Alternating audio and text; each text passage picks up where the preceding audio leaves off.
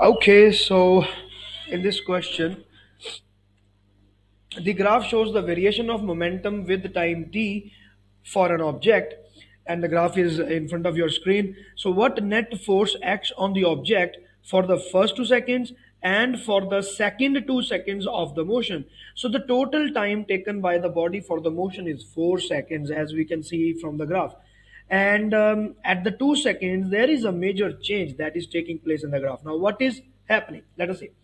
For the first two seconds as we can see that momentum is directly proportional to the time and momentum is continuously increasing with respect to time. But for the second half uh, in that second uh, two second time period time duration the momentum does not change. So let us see what is the Newton's second law? So Newton's second law is that force is defined as rate of change of momentum. So the momentum should change if the force is acting on it. And if the momentum of the body does not change, it means that the force acting on the body is definitely zero. So either it is the body is at rest or the body is moving with a constant momentum that is the velocity is constant and it is not changing. So for this part from this point to this point i would say like uh, from 2 second to the 4 second. The force for the second 2 second will definitely be zero because the momentum is constant. It is not changing anymore here.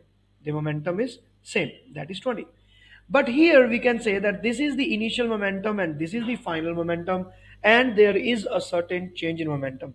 So for the first part, we can find the average force by having change in momentum by change in time. So what is the change, the uh, change in momentum now? Final momentum is 20 and initial momentum is 0 divided by time and time is 2 seconds. So this will be coming out to be equal to 10 Newton. So it means that in the first part, for the first 2 seconds, 10 Newton is the correct answer. So A will be the right option for us that in the first part of the motion, the body is acted upon by 10 Newton and in the second half of the um, motion, the body is not acted upon by any force. So with this, I think it should be very clear to you. So with this, all the best. Bye.